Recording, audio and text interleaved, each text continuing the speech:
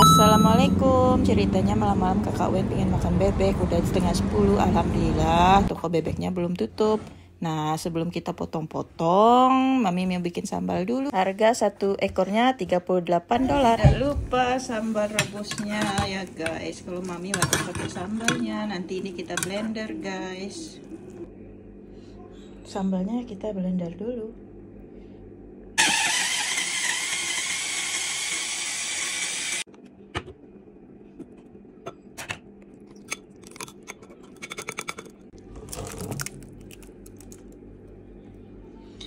jangan lupa koreksi rasa ya guys. Hmm, sambalnya udah jadi.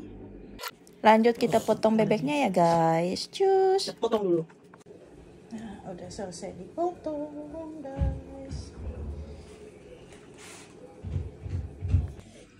Nah langsung sambal di atas bebek guys. Hmm. mari makan